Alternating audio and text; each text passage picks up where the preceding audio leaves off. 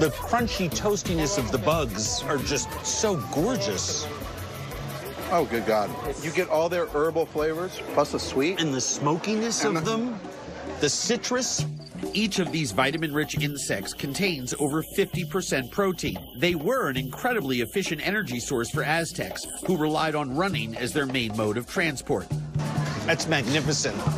The Spanish enslaved the Aztecs and used them as forced labor on their ranches, growing crops and tending to imported livestock that changed the Mexican landscape forever. Ruby's family defied this rule and continued their local culinary traditions, albeit on a much smaller scale. God. So good. And the one with the greens is just the most gorgeous combination of sweet and bitter. We always talk about the spice trade, how it, it influenced, but we already had all these flavors. The amaranth grain fritter is a tangible reminder of Aztec resistance. Protein rich amaranth was an Aztec staple and also a sacred culinary ritual. Cortez outlawed the crop.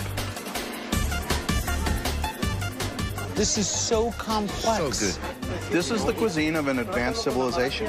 What's the number one hottest thing right now in the States? You know, vegetable burgers, meatless patties. Companies are coming out with these, you know, insane products in test tubes, and it's growing all around us. It's ground seeds.